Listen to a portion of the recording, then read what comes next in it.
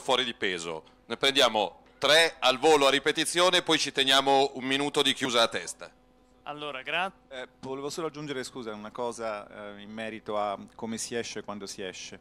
Vi ribadisco il concetto che Jens Weidmann ha detto sostanzialmente ha chiamato il blef di Draghi perché ha detto che lo stress test, cioè la verifica dell'affidabilità delle banche, dovrà essere fatta eh, considerando rischiosi i titoli pubblici dei paesi periferici, cosa che fino adesso formalmente non veniva fatta e quindi ha detto a Draghi tu con il tuo OMT non riuscirai a difendere l'euro, punto.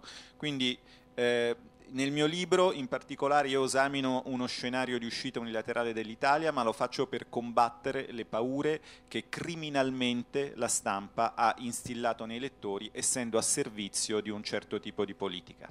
E questo è il problema.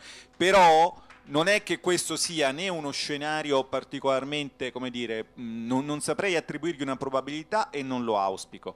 Quello che auspico e che probabilmente auspica anche Weidmann, che è molto più importante di me e se lo merita, è che se ne esca la Germania. E vi ricordo che esiste un sito europeansolidarity.eu dove trovate il manifesto di solidarietà europea che è una proposta organica e costruttiva di smantellamento dell'Eurozona partendo dai paesi del nord, che è uno scenario che secondo me sta acquistando plausibilità in questo, in questo periodo. Tutto qui, scusate.